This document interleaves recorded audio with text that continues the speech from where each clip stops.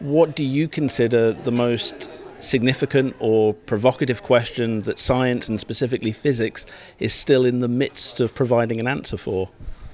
Well, that is a good question, and um, the I think if you, if you look at the science that I'm interested in, which is uh, cosmology, astronomy, fundamental physics, they I think pose questions that transcend science because they're questions about origins, the the origin of the universe, what is space and time, um, how likely is it that we're alone in this little corner of the universe? And I think those are questions that everybody asks, and they sound philosophical.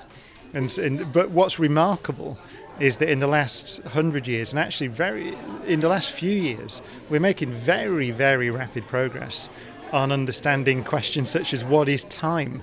I mean, what is time is kind of one of those universal questions we many of us muse about. Um, and, and, it's remarkable that through the study of black holes, we're beginning to be forced to reassess our understanding of the nature of space and time. So, so I think these, these, these sciences in particular raise questions and pose intellectual challenges that go way beyond the confines of mere science.